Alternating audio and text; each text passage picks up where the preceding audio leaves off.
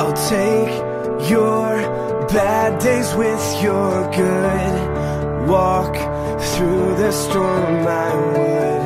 Unconditional, unconditionally, I will love you unconditionally.